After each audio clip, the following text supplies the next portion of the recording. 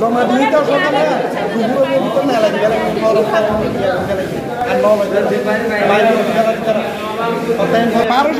দিন এখন দশ টিয়ার ধরে না ধরে দিন। দিবি হতে নইব পরে পরে হয়ে নাই।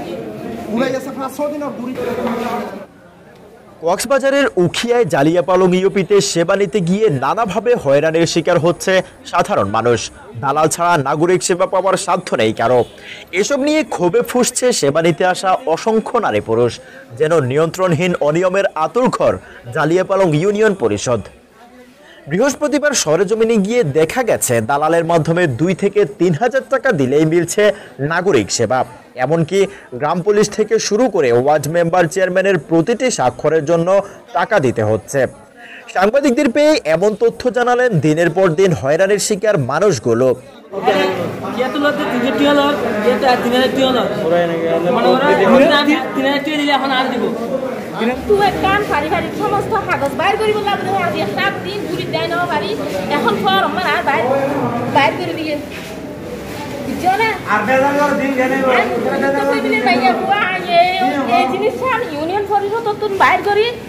মুক্তিযুদ্ধ ফ্যামিলির পক্ষ তো যাই। আই সাত দিন পর্যন্ত এই জিনিসটা জমা দিয়ে দিয়ে আজ সাত দিন পর্যন্ত না ভাই আর ফর মান বে বাইর করে দিয়ে।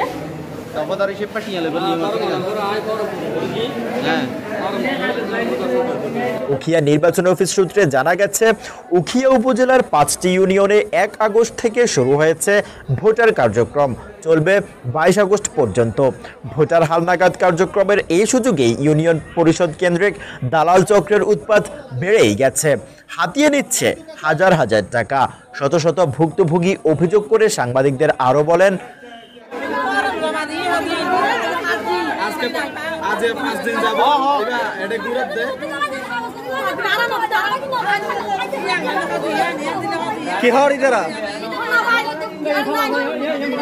দিন যাব এটা ঘুরে দে কি হওয়ার ইদারা আজ বাইশ সাল টিয়ারে তুলো তুলো টিয়ারে তুলো যতলা রাইছে আজ যতলা 300 টাকা তুলো সার দিন জড়িয়া 23 সাল লেভেল 23 সাল লেভেল অলরেডি আর 22 সাল যদি বলে হয়তো 22 সাল হয়তো নয় 22 সাল আর এখন বেকিং কমপ্লিট করছি হয়তো 22 সাল না 23 সাল লাগবে বলে হয়তো টিন নলাইব আবার হয়তো টিন নলাইব। এই এই মানে তারপরে এমপি যখন আর ফর্ম জমা দিই প্রথম হতে শনিবার দিন প্রত্যায়ন দিন না আর তো শনিবার দিনের মধ্যে আবার ফর্ম লয়ের শনিবার দিন দিব বেক কোনো তাই আজ আবার এক সময় ফর্ম বেক কোন ব্যাগ দিব হয়তো প্রত্যায়ন হতে চার দুজন দিবে বলা বলা দিবে জাতি যে বা তাসি যে সিং শরীর হইতে দেন তো মানুষের আছে এত নির্যাতন করো আপডেট করতে। আমরা এখানে বাইশ কি জন্য আপডেট করার জন্য প্রতিবাদ করতে চাই সেটা চেয়ারম্যান বলছে কোনো কোনো কোনো সত্যায়িত পর্যন্ত করতে পারব আমাদের কোনো তাদের কোনো ইয়ে নেই। কোনো মূল্য নেই। ওনাদের কাছে আমরা গেলে আমরা কি মানুষ? না একজন কি? ওনাদের কোনো মূল্য নেই। এখানে মাত্রটা প্রত্যয়নের জন্য আমাদের দিন দিন এখানে শিকার হতে হচ্ছে হয়রানি শুধু একটা প্রত্যয়ন জমা আমরা এখানে আমাদের আশি টাকা লাগে একদিনে পাঁচশো টাকা করে। সাত দিন আসলে আমার পঁয়ত্রিশশো টাকা। তাছাড়া প্লাস আমার দোকান আছে। আমরা খাই করতে দিই মানে আমরা একজন সাধারণ নাগরিক। আমি যেমন আরেকজন কীভাবে ইয়া করবে?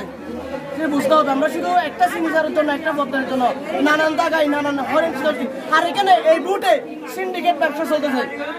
এখানে দালাল বেড়ে গেছে। টোটালি একচুয়ালি যেটা সত্যি কথা আপনি সবার থেকে জিজ্ঞেস করেন এখানে সিন্ডিকেট আছে। একটা কাগজ যুগ্ম সভায় থেকে সাত দিন পর্যন্ত এখানে এখানে যারা যারা কর্মকর্তা আছে ওনারা থাকবে। কর্মকর্তার সাথে বাইরের আউটসাইড আননোন পার্সেন্ট কেন থাকবে?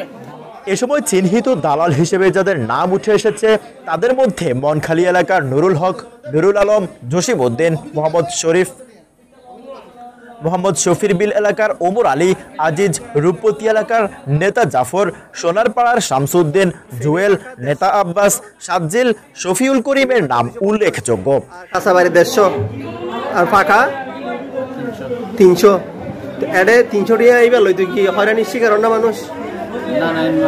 এটা তো মানুষ তো তিন হাজার টিয়া যারা দেয় তার আগে দিয়ে ওই যার বলি হওয়ার তিনশো টিয়া দিতে আর না ভার বলি হওয়ার বিষয় সত্য না। আর হাসান রিম্মা হনো গিয়া ন রিম্মা হনো গিয়া গিয়ে ন চলে। এবং রিম্মা হয়রানি শিকার গিয়া তারা আর পোস্টান কি?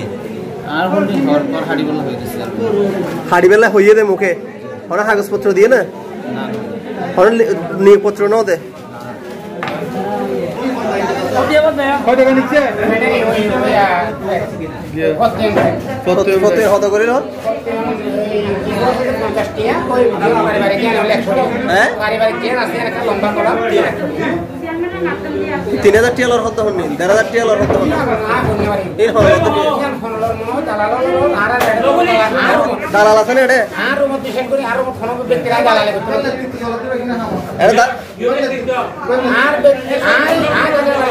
দালাল আছে। না এটা এটা দা- এবার আর তো মহল দিন যদি এটি কেউ ব্যক্তি যদি আর করে এসে মানে ককটেল দিচ্ছি। সব ককটেল মানে আমি দিচ্ছি মানে মানে এরা কে আমি জানি না কে। আমি সেলফের পকেটে সেলফ আমাকে এ বিষয়ে Jaliapalang union Parishad chairman S M Syed Alam বলেন সরকার জারি আছে সে আর দেশটা ব্যতীত গিয়ে নির্বাচন হয়ে এবং হিসাব এবং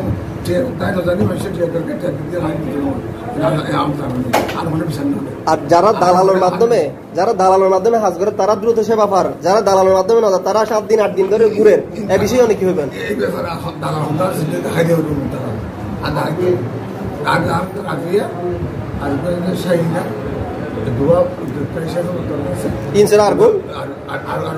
রফিক।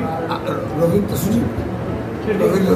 তাহলে আর্গুন জোন আছে সৌদের ট্যাক্স হাডের হোল্ডিং ট্যাক্স হাডের এই মানুষ কি অনেক নিয়োগ দিও দ্বিতীয় হলে ট্যাক্স হবে মেলা এই নিয়োগ নিয়োগ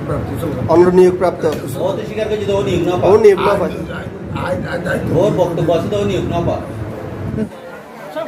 তাৎক্ষণিক ভুক্তভোগীদের অভিযোগের ভিত্তিতে পরিষদের উদ্যোক্তার পক্ষে গিয়ে দেখা যায় উদ্যোক্তা নেই।